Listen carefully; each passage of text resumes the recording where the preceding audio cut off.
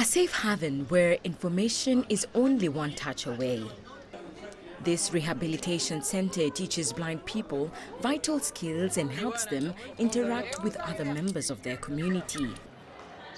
Gamal has learned how to make jewelry and crafts. The money she makes selling her handiwork allows her to lead an independent life.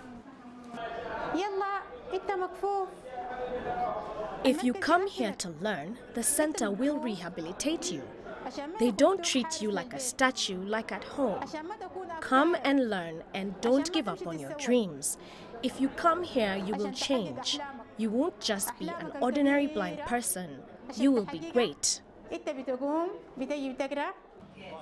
Since the Rehabilitation Center opened in 1987, students across East Africa have enrolled to further their studies and careers.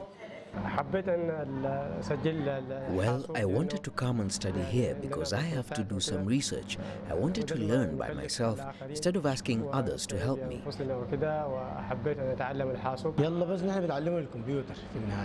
We teach them how to use computers.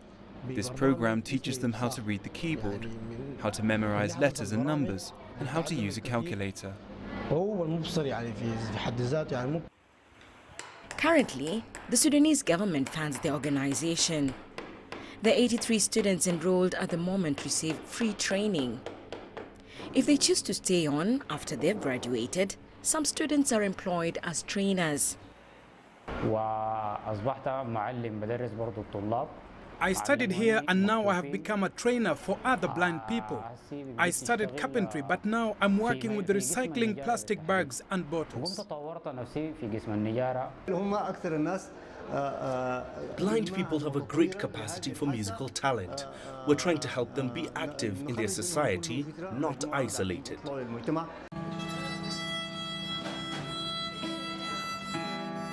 As the center helps blind students reach for their dreams, it's clear the trainer's family believe that disability is definitely not the same as inability. Susan Mwongeli, CGTN.